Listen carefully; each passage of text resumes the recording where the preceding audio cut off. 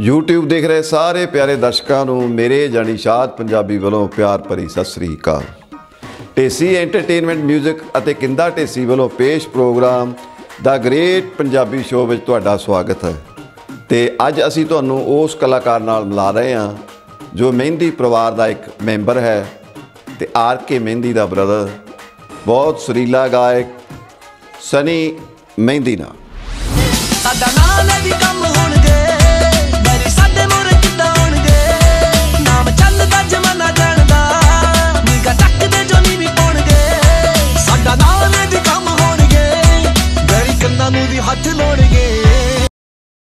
ਮੇਰੇ ਨਾਲ ਕੋਈ ਇਦਾਂ ਦਾ ਮਿਸਹੈਪਨ ਹੋਇਆ ਸੀ ਕਿ ਮੇਰਾ ਦਿਲ ਦੇ ਵਿੱਚ ਸੀ ਕਿ ਜਿਹੜਾ ਬੰਦਾ ਮੇਰੇ ਨਾਲ ਧੋਖਾ ਕਰਕੇ ਗਿਆ ਨਾ ਜੀ ਜੀ। ਉਹਦੇ ਲਈ ਸਪੈਸ਼ਲ ਮੈਂ ਲੰਡਨ ਸ਼ੋਅ ਲਾ ਕੇ ਲਾਉਣ ਜਾਣਾ। ਵਾਹ ਜੀ ਵਾਹ। ਤੇ ਜਿਹਨੇ ਮੈਨੂੰ ਧੋਖਾ ਦਿੱਤਾ ਹੈ ਉਹਦੇ ਬੱਚੇ ਜਾਂ ਉਹਦਾ ਹਸਬੰਡ ਕਵੇ ਆਪ ਆਓ ਮੁੰਡੇ ਨਾਲ ਫੋਟੋ ਕਰਾਉਣ ਚੱਲੀਏ ਸਾਡੇ ਪਿੰਡ ਦੀ। ਵੱਖ-ਵੱਖ ਸਿੰਗਰਾਂ ਦੇ ਜਿਹੜੇ ਫਾਲੋਅਰ ਆ ਸੋਸ਼ਲ ਮੀਡੀਆ ਤੇ ਆਪਸ ਵਿੱਚ ਹੀ ਲੜ ਰਹੇ ਆ। ਬੜੀ ਭੱਦੀ ਸ਼ਬਦਾਵਲੀ ਵਰਤ ਰਹੇ ਆ। ਤੇ ਇਹ ਇਹਦੇ ਬਾਰੇ ਤੁਹਾਡਾ ਕੀ ਕਹਿਣਾ? ਦੇਖੋ ਜੀ ਮੈਂ ਕਿਸੇ ਬਾਰੇ ਗਲਤ ਨਹੀਂ ਬੋਲਦਾ ਬਟ ਮੈਨੂੰ ਇਦਾਂ ਲੱਗਦਾ ਵੀ ਜਿਹੜੇ ਫਾਲੋਅਰਸ ਆ ਸਾਨੂੰ ਪਿਆਰ ਕਰਦੇ ਆ। ਜੀ ਜੀ।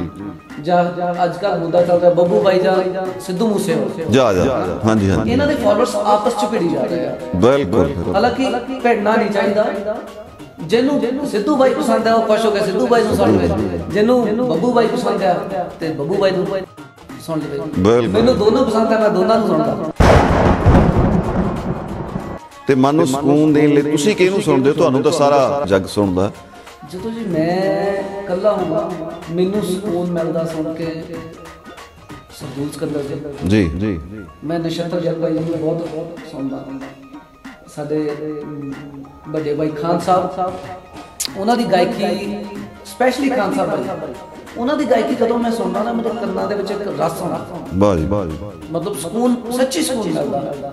ਲਾਈਕ ਇਦਾਂ ਫੀਲ ਹੁੰਦਾ ਮੈਨੂੰ ਵੀ ਜਿੱਦਾਂ ਮੈਂ ਕਿਸੇ ਧਾਰਮਿਕ ਸਥਾਨ ਤੇ ਬੈਠ ਕੇ ਆਪਣੇ ਆਪ ਆਪਣੇ ਆਪ ਨੂੰ ਸ਼ਾਂਤ ਕਰਾਂ। ਸਪੈਸ਼ਲੀ ਖਾਨ ਬਾਈ ਉਹਨਾਂ ਦੀ ਗਾਇਕੀ ਨੂੰ ਅਧਿਆਤਮਕ ਸ਼ਾਂਤੀ ਮਿਲਦੀ।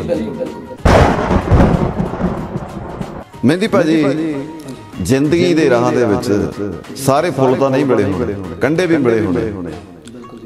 ਤੇ ਇਹਨਾਂ ਕੰਡਿਆਂ ਤੇ ਇਹਨਾਂ ਫੁੱਲਾਂ ਬਾਰੇ ਸਾਨੂੰ ਜ਼ਰੂਰ ਦੱਸੋ। ਦੇਖੋ ਜੀ ਇੱਕ ਤਾਂ ਅੱਲਾ ਦਾ ਸ਼ੁਕਰ ਹੈ ਕਿ ਜ਼ਿੰਦਗੀ ਚ ਕੰਡੇ ਨਹੀਂ ਮਿਲੇ। ਕੰਡਾ ਹੀ ਮਿਲਿਆ ਇੱਕ ਦੋ ਕੰਡੇ ਗਾ ਅੱਛਾ, ਜ਼ਿਆਦਾ। ਰੱਬ ਨੇ ਫੁੱਲ ਹੀ ਦਿੱਤੇ। ਜੀ ਜੀ ਕਿਉਂਕਿ ਮੇਰੀ ਫੁਲਵਾੜੀ ਮੇਰੇ ਯਾਰ ਦੋਸਤ ਹੈ। ਮੇਰੇ ਭਰਾ ਆ। ਹਨਾ ਸਭ ਤੋਂ ਵੱਡੀ ਸਪੋਰਟ ਜਿਹੜੀ ਆ ਮੇਰੀ ਫੈਮਿਲੀ ਤੋਂ। ਜਿਹੜਾ ਵੀ ਧੋਖਾ ਨਾ ਵਜੇ ਮੇਰੀ ਸੋਚ ਹੈ ਧੋਖਾ ਜ਼ਿੰਦਗੀ ਬਦਲ ਧੋਖਾ ਜਦੋਂ ਤੁਹਾਡੀ ਪਿੱਠ ਪਿੱਛੇ ਲੱਤ ਵੱਜਦੀ ਹੈ ਨਾ ਤੁਸੀਂ ਗਾਂ ਨੂੰ ਜਾਣਾ ਪਛਾਣ ਹੁੰਦੀ ਹੈ। ਧੋਖਾ ਮੈਂ ਧੋਖੇ ਨੂੰ ਥਰੋ ਕਹਿਣਾ ਵਾਹ ਜੀ ਕਿ ਤੁਸੀਂ ਥਰੋ ਹੋਵੋਗੇ ਤੇ ਧੋਖਾ ਉਹਨੂੰ ਮਿਲਦਾ ਜਿਹਨੇ ਕਿਸੇ ਮੰਜ਼ਿਲ ਤੇ ਪਹੁੰਚੇ ਤੇ ਕਦੇ ਘਰ ਦਾ ਕੰਮ ਕੀਤਾ ਕੋਈ ਆਪਣਾ? ਰੋਟੀ ਬਣਾਈ ਹੋਵੇ ਸਫ਼ਾਈ ਕੀਤੀ ਹੋਵੇ।